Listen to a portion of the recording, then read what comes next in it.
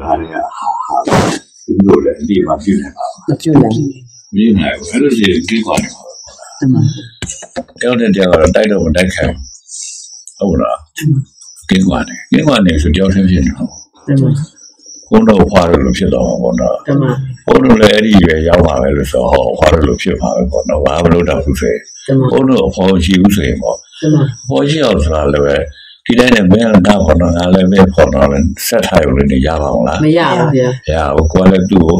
ပေးကြလေးရှာပေးလို့ပြုလို့ရှာလေးရှာပြုလို့ပြောဆိုရလေးရှာပြောဆိုလို့သူကလည်းကိုယ်တို့ဖြစ်ပါမလားတမ။ဒါဆိုတော့ဆက်ဆက်နေပါလားတမ။ဟောဆက်ဆက်နေပြီလို့ဆိုတော့အဲ့ဒါအိုးကောင်းမယ်ကွယ်။ဟုတ်တယ်လားနော်တမ။အဲ့တော့အဲ့ဒီမှာဘာမှ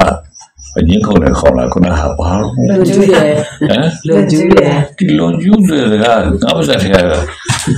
တခါပြောလိုက်ပေါ်ပေါ်တယ်မေ့မေ့တာလွန်ကျူးဆိုတာကိုကိုယ်အဲ့လိုဒီကိုမလိရနဲ့တူတယ်နော်အဲ့တော့အဲ့ဒီလွန်ကျူးမရှိဘူးလို့ဆိုရှင်တကယ်ကိုခင်မင်းနေကြအောင်မလားတမဗျာခင်မင်းနေကြပြီဆိုတသားလည်းဖြစ်နေမှာနော်တမဗျာမလွန်ကျူးရင်တသားလည်းဖြစ်ဘူးလွန်ကျူးနေရင်တသားလည်းမဖြစ်မဖြစ်ဘူးကွဲနေမှာဘူးကွဲနေမှာကိုယ့်ရဲ့အမေနဲ့သားလည်းကွဲမှာပဲတမမြင်းနဲ့အဖွားလည်းကွဲမှာပဲတမ အဲအဲ့လိုမိသားတစုတွေကနေပြီးတော့ကပရိသတ်တောင်းမှလည်းပဲကွဲသေးတယ်ဆိုရင်တမဗျာဘယ်အများစုကနေကတော့လွန်ကျူးလို့တော့တစ်ဆက်မှမရဘူးဖြစ်မှာပေါ့နော်တမဗျာ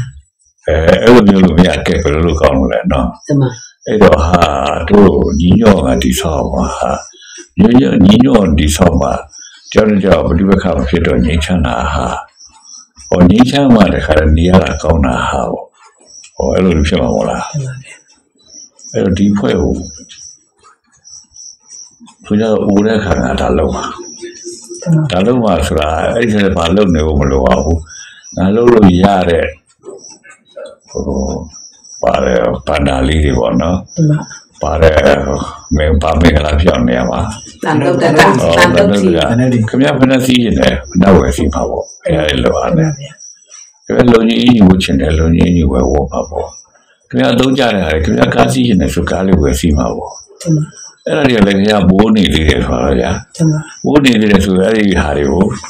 ခုနကဒီမှာလိုအပ်နေတဲ့လူထောက်ပါမယ်ကွာတမကတော့ထောက်ပါမယ်လောကကိုထောက်ပါမယ်